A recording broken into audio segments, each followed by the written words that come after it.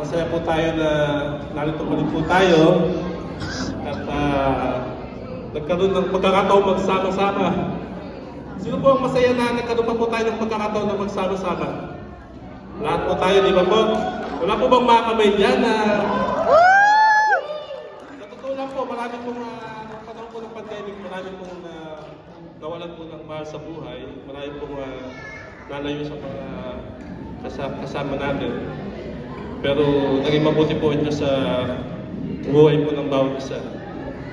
Ito pong kanta na to, nung ginawa po namin ni Senador Hani, eh, ah, talaga pong, ah, ano po, ah, Bible-based po itong kanta na to. Ah, talaga pong ah, salita po ng Diyos yung meaning ng ng ah, kanta na to.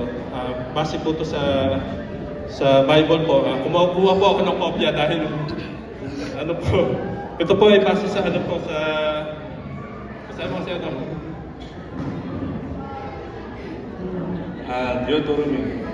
Base po to sa medyo maano po doon eh. Base po to sa sa Deuteronomy uh, 31:8. Ang sabi po ni Lord sa Deuteronomy 31:8, The Lord Himself gives before you and will be with you. He will never leave you nor forsake you. Kaya po ito pong kanta na ito ay uh, tungkol po sa kaya na to.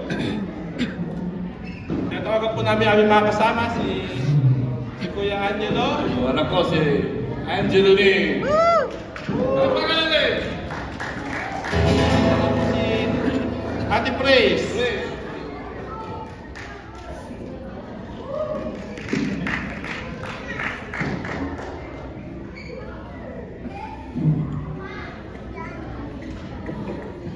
Ah, ito pong kanta na to ay nasa Spotify na rin po at ah, all digital music.